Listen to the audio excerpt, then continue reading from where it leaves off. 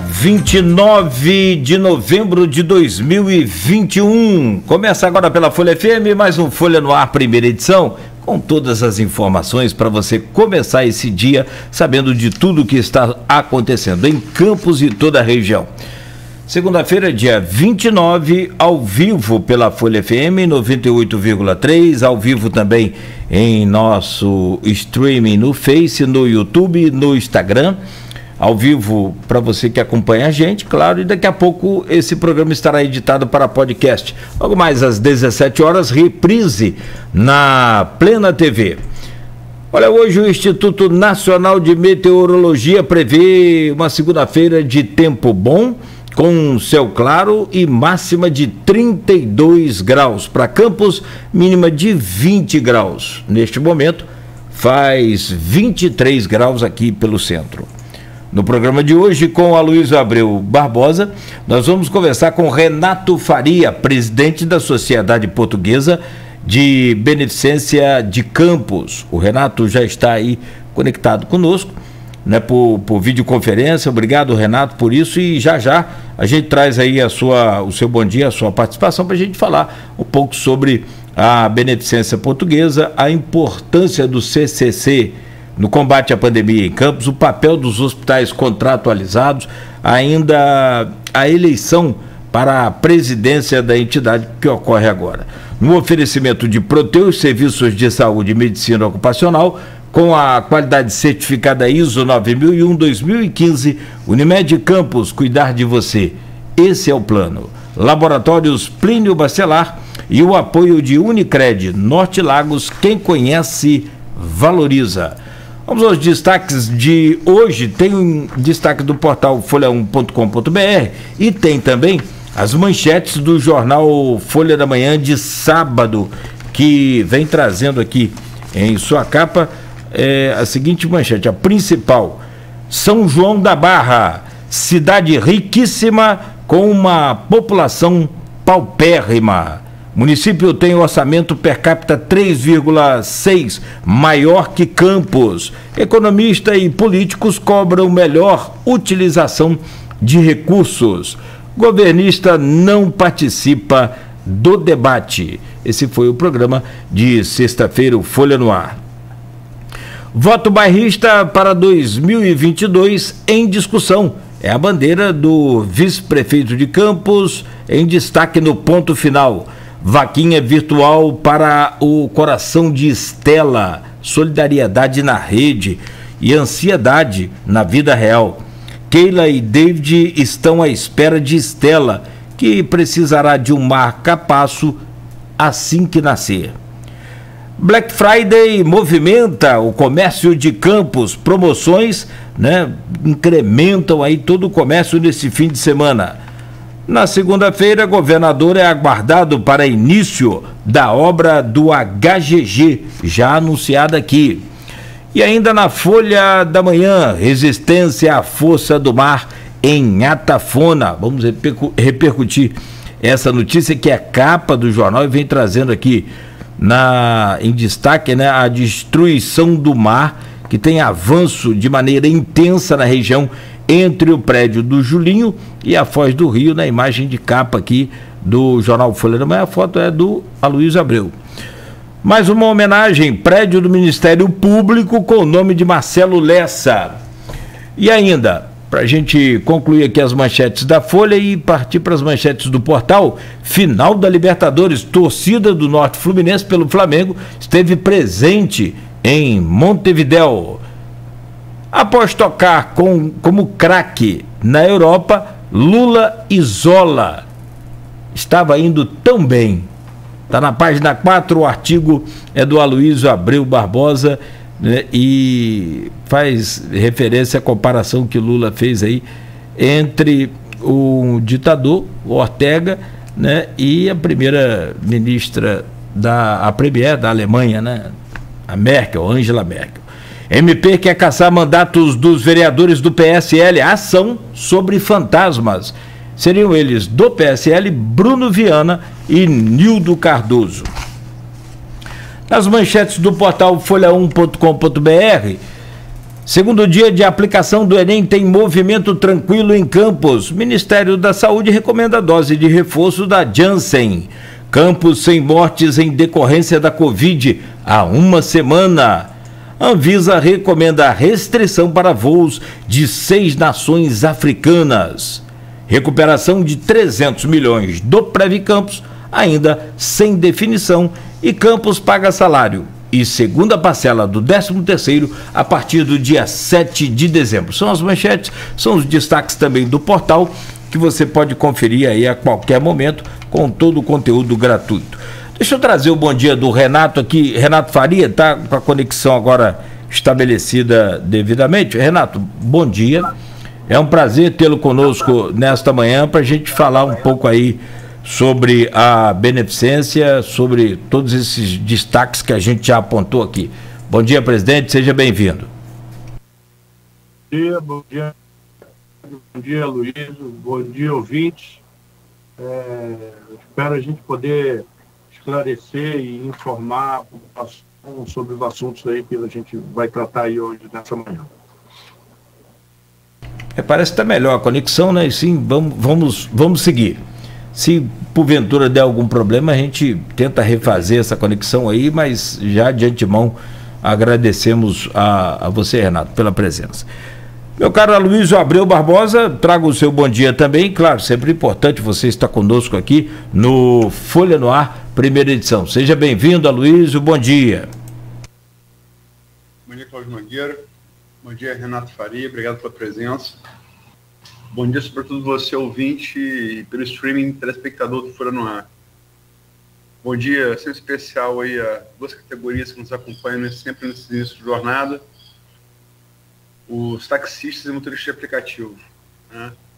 Coisa não está fácil, né? O preço do combustível como está. No almoço para pagar a janta, mas enfim, vamos seguir em frente. É, Renato, é, se eu não me engano, fui o primeiro, fui o primeiro jornalista a anunciar a abertura do CCC em 30 de março do ano, do ano passado. E acompanhei é, muito a pandemia, no, sobretudo naqueles primeiros meses, e pude ver é, o quanto o CCC foi importante como uma espécie de para-choque, uma vanguarda da saúde, da saúde não só da saúde pública, né? Porque Covid, ela, ela, ela foi na saúde privada também. Né? É, teve demanda no, no, Covid não escolhe, o corona não escolhe, né? Quem, quem vai infectar. Mas de toda a saúde de, de campos da região, o CCC instalado na beneficência foi uma espécie de para-choque. Ele foi certamente a vanguarda do, do combate à pandemia em campos da região. Passado hoje, nesses. É, ma, ma, abril, maio, junho, julho, agosto, setembro, outubro, novembro. Passado esses um ano, oito meses da abertura do CCC, que foi fechado agora é, esse ano para o atendimento ser descentralizado, que balanço você faz da atuação do CCC e da, e da beneficência? Bom dia. Ótimo. Eu estou vendo aqui o relatório. Tem, é, tem uma pessoa internada com Covid na UTI da Beneficência. Nós chegamos a ter 60 pessoas nas enfermarias e 29 pessoas em UTI. Lotou. Chegou a lotar. Fora os outros hospitais, é, a situação chegou a, a ficar na B da catástrofe. Teve momentos que a gente achava que poderia chegar aquela questão que você tinha que fazer a escolha de Sofia. Quem que ia sobreviver e quem que não ia sobreviver por falta de recursos para atendimento. A ânsia do CCCC ela foi aumentada pelo fato do Estado não cumprido com a sua obrigação. O Estado que eu digo é o Estado do Rio de Janeiro. Porque ele ficou de montar uma, um hospital de campanha para ajudar o combate ao, ao corona, né? E esse hospital, como diz seu amigo Murilo, é a viúva porcina. Aquele que foi sem nunca ter sido. Hospital que não, não, não, não cumpriu função nenhuma. Só gastou dinheiro, recursos que eram necessários até para a gente lá é, atender melhor a população. Então, é, a Campos teve, teve a sorte da, gente, de, da beneficência ter podido fazer aquele investimento num período em que, vamos dizer assim, as coisas estavam normais, funcionando normalmente. Isso se deve à, à, à iniciativa do Arnaldo lá, que lá atrás resolveu é, dar, pagar um complemento da tabela do SUS. A tabela não, não reajustava, totalmente defasada, continua defasada, e isso possibilitou que o hospital se equilibrasse financeiramente, pudesse pensar em expansão. É, num prédio é, totalmente é, para gente lá as normas da, da, da atender melhor ser um problema do, do hospital que nós tínhamos anteriormente, né? Instalações lá ah, tem que ter um corredor com 3 metros. Aí você lá tem um corredor com 2 metros. Como é que você adapta um prédio um corredor de 2 metros a 3 metros? É impossível. Então, só construindo um prédio novo. E nós construímos esse prédio novo de acordo com as normas da vigilância sanitária. E conseguimos, é, vamos dizer assim, essa, esse certificado da vigilância sanitária. Então, é, essa foi a sorte de campo. Eu imagino que a gente tivesse, não tivesse feito isso. Onde é que seria abrigado o Centro de Combate ao Coronavírus em campo? Essa é uma questão uma questão que a gente coloca. Mas o fato é que teve, o, o doutor teve um papel importantíssimo nisso. Ia perguntar porque... isso, é, o papel de Macou na, nessa gênese do, do CCC. Macou, Macou me procurou no final do ano passado, no final do ano passado, não, no final do ano retrasado, ainda não tinha Covid. Foi final de 2019, ele me procurou um sócio da Beneficência, queria que ele conhecesse a Beneficência. Conhecer a Beneficência é conhecer o prédio novo, né? que ele não conhecia. A CUR teve uma participação importantíssima da Beneficência, que ele ajudou a fundar o primeiro, a primeira UTI do interior do estado, que foi instalada lá, ele e o doutor Larry montaram na Beneficência, a primeira UTI do interior do estado. É, e aí ele tem uma história enorme com a gente lá, mas estava muitos anos afastado. Foi para a Unimed, foi, foi lá para. montou lá o, o Hospital Álvaro. Bom, mas o fato é que ele foi lá é, conhecer, eu rodei lá todo com ele. E no final ele me disse, Renato, o projeto que eu tenho estava embutido dele construir um, um hospital. Não precisa, vocês têm tudo aqui que eu preciso para montar um serviço de emergência é, chamado atendimento na primeira hora, a hora de ouro. Que é quando você é metido por uma, um AVC, é, na maioria dos casos você tem uma hora para ser atendido para não ficar sequela.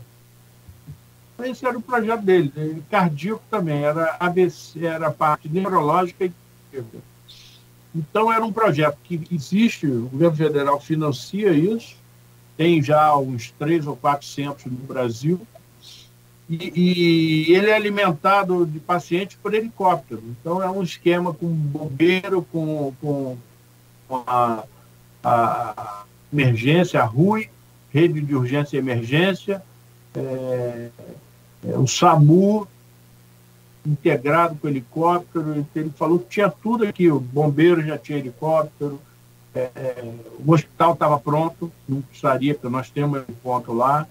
É, capacidade de UTI, capacidade de centro cirúrgico. Teria que equipar o, o hospital com alguns serviços, mas que era o, o menor problema. Essa conversa foi, aí foi ele foi lá uma três vezes. Né? Segunda vez com o responsável pelo. Existe um consórcio de municípios que tem convênio na área da saúde. Então, a pessoa foi respons... que é responsável por isso foi lá conhecer o, o hospital para ver se ele se adequava ao projeto. Todo mundo sai de lá encantado, porque realmente tem uma estrutura fantástica lá. E, e, e no final disso, é, essa conversa estava evoluindo, vem a Covid. Bom, quando vem a Covid, eu ligo para ele e falo, Tomacou, será que a Covid não seria a oportunidade da gente é, equipar o resto do hospital? Porque a gente tinha uma UTI de 19 leitos desativada no oitavo andar. Desativada, nunca tinha sido ativada, ela estava pronta, precisando se equipar tal, mas com 18, 19 leitos. Ele falou, ah, me faz isso, oferecendo isso para a Covid. Eu fiz o ofício mandei para ele. Foi numa terça-feira. Na quinta, a secretária de saúde me procura e falou, ah, você ofereceu para a? Não, não ofereci. Ela falou, ah, manda esse ofício também. Eu mandei para ela. Eu sei que no domingo eles foram lá conhecer o prefeito, o, o, o doutor é, doutor é, secretário de saúde, o promotor, mas Abdo Neme. Essa foi. Essa foi. Porque esse movimento estava muito forte é, com, com, com o doutor Lessa. Ana Peregrini fez um desabafo aí na internet. Não sei se você lembra disso. Ela fez Existiu um, um movimento. Ela espalhou fake news né, nas redes sociais. Mas vamos lá. É, mas é, foi uma pressão danada em cima do, da prefeitura para tomar alguma iniciativa em relação a isso. Em relação a, a coisa, saber depois, mas aí eles foram lá, visitaram. Só para só para fazer diferença. Tem diferença entre um desabafo e fake news para criar pânico. Tem diferença, mas vamos lá. Eu sei que no, no no final de, de um UTI de 18, de 19 leitos, a conversa evoluiu para o prédio todo, fazer brigar na, na, na, na recepção, que a gente tem lá uma emergência, estava pronta e desativada, fazer toda a recepção da, da Covid lá no prédio. Então, o prédio ficou totalmente destinado à Covid. Então, tinha uma emergência no, no, no saguão, segundo andar ficou, ficou a parte administrativa, é, vestiário, o pessoal chegar, porque na Covid a parte importantíssima para você preservar a equipe é a paramentação e a paramentação. É você preparar o profissional com, com, com EPIs, com, com equipamento de proteção é, necessários e na hora de retirar esse equipamento também, tem que tomar todo o cuidado para não se contaminar. Então existia, né, no segundo andar, eram, são, são 12, 12 consultórios que foram adaptados para isso, para é, dispensa, farmácia, lugar para paramentar, para desparamentar, tudo isso foi, foi preparado nesse segundo andar. Aí ficamos terceiro, quarto e quinto andar, é, leitos, 10 apartamentos em cada andar, são 30 apartamentos, com, que já estavam equipados com, com duas instalações de, de, de gases. Então, você, é, ele, esse apartamento pode funcionar como apartamento single ou como enfermaria de dois leitos. Foram 60 leitos. Sexto andar era, era o TI neonatal, a gente transferiu, tirou ela da, do, do prédio novo e, e pusemos no, no, prédio histórico, já tinha, ela funcionava lá, só que arrumar, ar-condicionado, essas coisas, detalhezinhos, transferimos. Sétimo andar já estava funcionando 19 leitos, só que era um TI geral, foram designados só para Covid.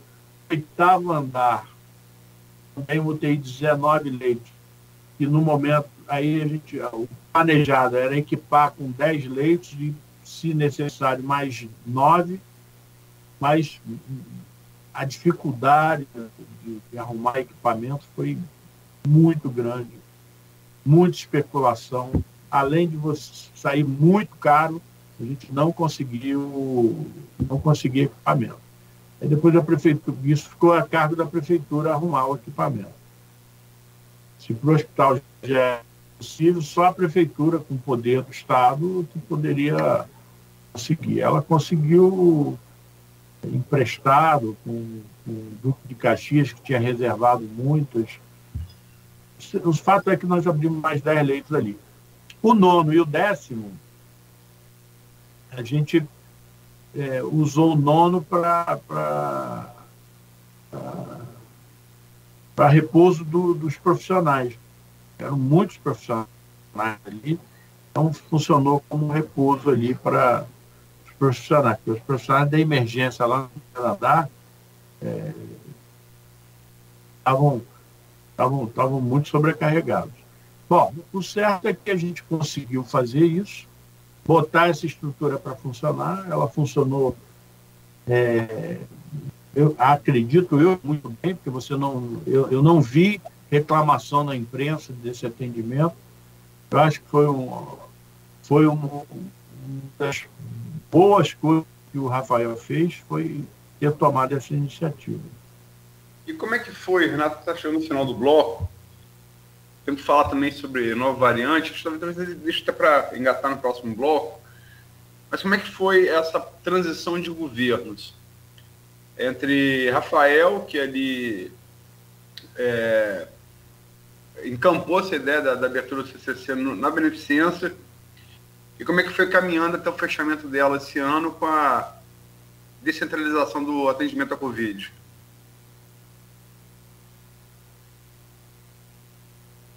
Renato?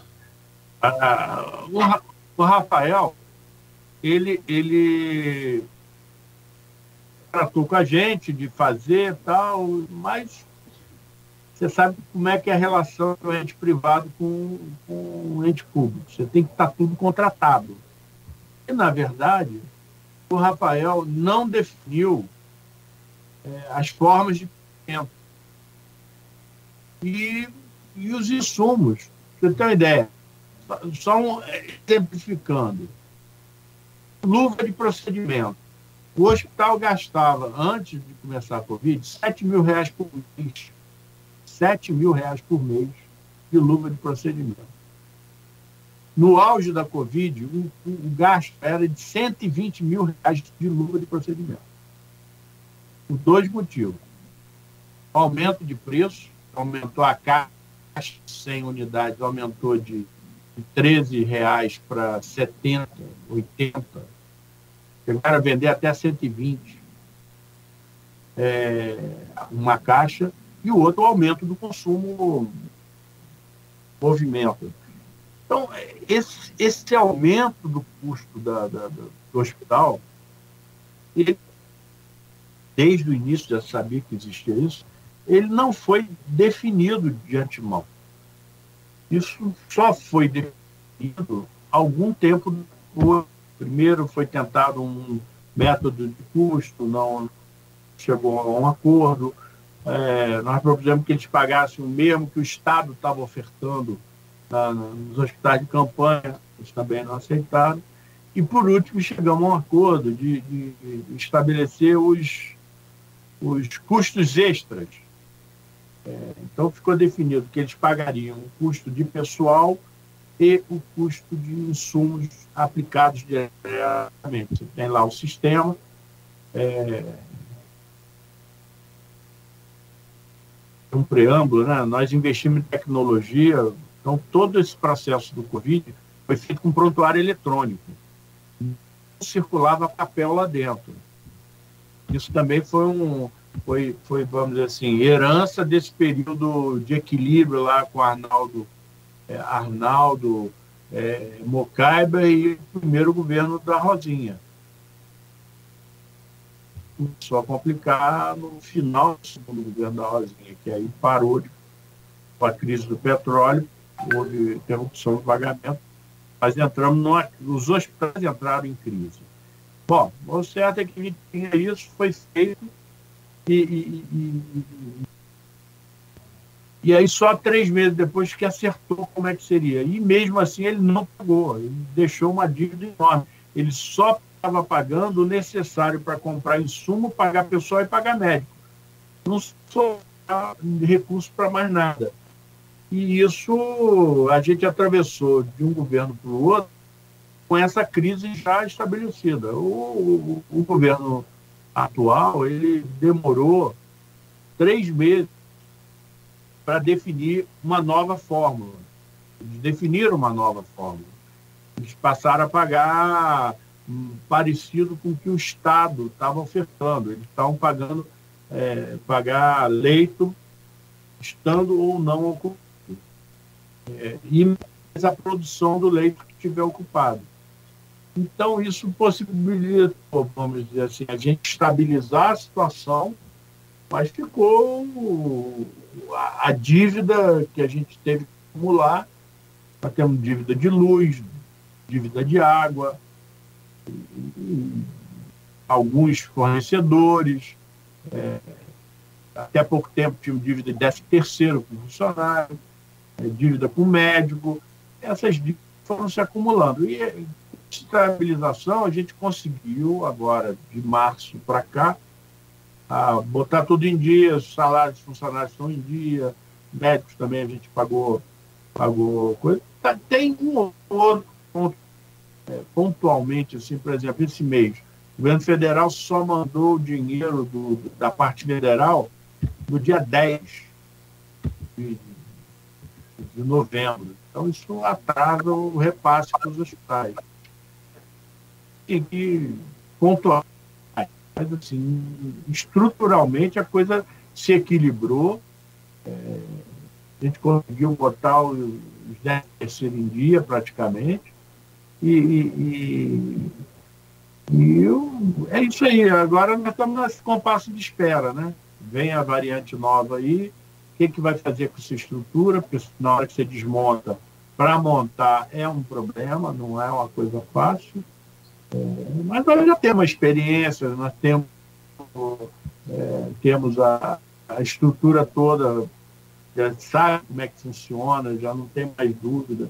Então, eu, eu acho que nós estamos numa situação bem mais tranquila do que no início da pandemia. Muito bem, Renato. Deixa eu pedir licença rapidamente ao senhor, aos ouvintes, para a gente fazer uma, uma pausa rápida aqui. O Aloysio já deixou essa conexão aí né, é, próximo bloco, o senhor já começou a comentar também sobre essa nova variante e parece que já em todos os continentes, aqui no nosso, está chegando lá pelo Canadá, já tem dois casos confirmados, né? E teve um, um, um, um cidadão também que chegou nesse final de semana vindo da África e está com Covid. Está sendo avaliado também esse caso em São Paulo. Mas a gente volta para falar sobre isso e comenta outros assuntos também aqui no Folha no Ar, primeira edição, com o oferecimento de Proteus Serviços de Saúde e Medicina Ocupacional, qualidade certificada ISO 9001-2015, Unimed Campos, cuidar de você. Esse é o plano. Laboratórios Plínio Bacelar e o apoio Unicred Norte Lagos. Quem conhece, valoriza. Direto